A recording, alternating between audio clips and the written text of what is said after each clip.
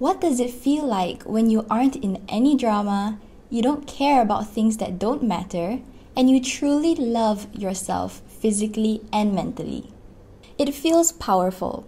I can tell you that. Because you know that you can achieve anything that you put your mind into, and no one is stopping you but yourself.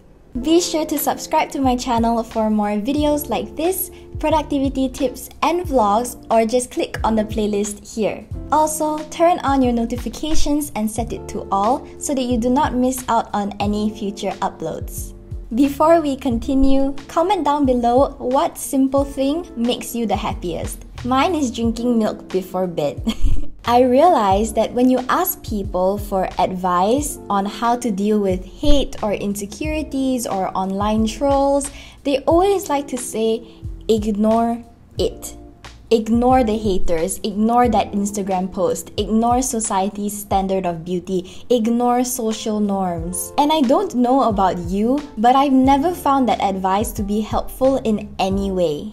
Personally, I feel like anyone who finds this advice helpful are already unbothered to a certain extent. They already have very thick skin because I find it, or anyone would find it, very difficult to go from feeling hurt or insecure or betrayed by something to just completely ignoring the whole thing.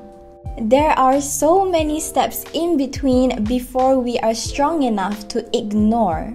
Let's just say I'm insecure about my body, which everyone has felt at least once in their lives. And then I go onto Instagram and I see a picture of a beautiful woman with my idea of a perfect body. How am I supposed to ignore that feeling of insecurity, envy, or even jealousy if you want to go that far? If someone said something mean to me, how am I supposed to ignore that feeling of hurt and betrayal?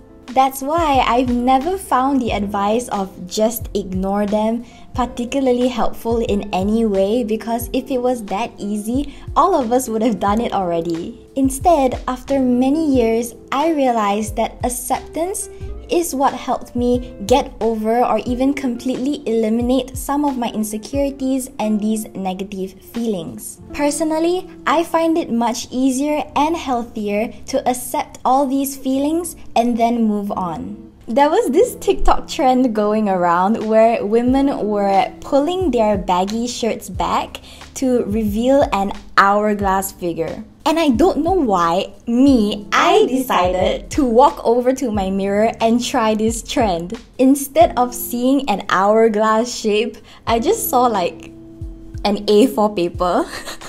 like, come on, I bought this cheongsam when I was 12 years old. What was I expecting my body to look like? After I saw my A4 paper body in the mirror, I just laughed it off and that's it. it's not perfect and I accept that. My body isn't my dream body and it definitely doesn't fit society's standards of a perfect body. And that's okay. I love it anyways. Acceptance isn't defeat. Acceptance is not, oh, my body isn't perfect, I'll just accept it because I can't change it. For me, acceptance is my body isn't perfect and that's okay. I love it anyways. The same thing goes for online trolls and hate. Remember that we're talking about hate here and not criticism. There is a difference between your work sucks and your work isn't very good and could be improved by doing blah blah blah. You want to accept criticism but ignore hate. So, on the topic of hate, I've accepted the fact that what they said is hurtful, but I also understand that they either had a bad day and lashed it out on you, or they just didn't know any better. Both of which aren't your fault. Is it unfair? Yes. But can you do something about it? Not really. It's not worth your time or energy to try and converse with these people and tell them that they're wrong because it's, it's not your job to tell them that they're being dumb. Next, you do not need to give explanations. Sometimes silence is your best answer. I mentioned this in my 10,000 subscribers Q&A which you can check out here, but if they don't like you, they don't like you. There is nothing you can do or say that will change their mind. So, trying to convince someone that they're wrong and you're right or what they're saying is not true will never work and it's a waste of time and energy. I don't know why, right? But back in high school or secondary school, a lot of people assumed that I was arrogant because I was a confident introvert that minded her own business. it's quite funny to think about it now. I just took my studies and my co curricular activities very seriously. You could literally come up to me and be like, Faye, have you heard about this drama? Or hey, did you hear what he or she said about you? And I'll literally be like, okay. like I would literally have no reaction. I rather spend my time and energy focusing on things that actually matter in my life like my family, my friends, my academics, and my co curricular activities. I grew a lot as a person in high school. An advertisement might play in the next few seconds, so if you want to support this channel, please do not skip the ads. Thank you. I grew a lot as a person in high school. My results improved a lot. I formed true, lasting friendships. I tried many new things, all because I didn't waste my time entertaining people that wanted to see me fail. I'd rather succeed and have them talk about that instead. And so should you. Not everyone in this world is nice or understanding, and that's okay. You do you. You create a life that you want to live and only give time to people that actually appreciate you. Once you stop trying to please everyone and start pouring all your energy into the people around you, you'd be surprised with how many amazing friendships you form. By the way, remember that drama almost never gets resolved. Either everyone got bored and moved on to the next one, or someone had a mental breakdown. So don't bother trying to waste your time on drama, especially if you're still a student. For me, it took years to become truly unbothered. I've always been quite confident, but to not care about what other people think is it took a longer time. No one said that it would be easy, but the feeling you get when you can finally step back and say, "Wow, I feel so fulfilled and happy." That makes you feel so powerful. Like you could accomplish anything in this world because no one is holding you back, not even yourself. I've said this before and I'll say it again you determine your own success. Which brings me to my next point don't expect too much from people. Not everyone is nice, not everyone shares the same opinion as you, and not everyone likes you. Expectations give you a false sense of certainty. It makes you think that people will act in your favor or act in the way that you want them to.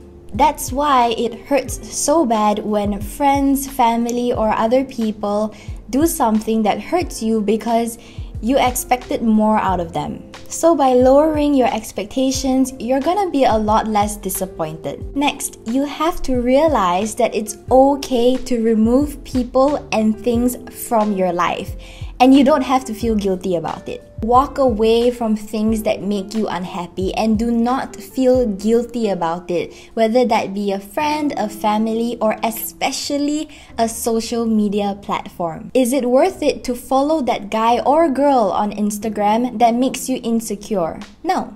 Sometimes it's okay to be selfish. In this context, selfish is just loving yourself enough that you can establish boundaries with who you surround yourself with and the things you do for others.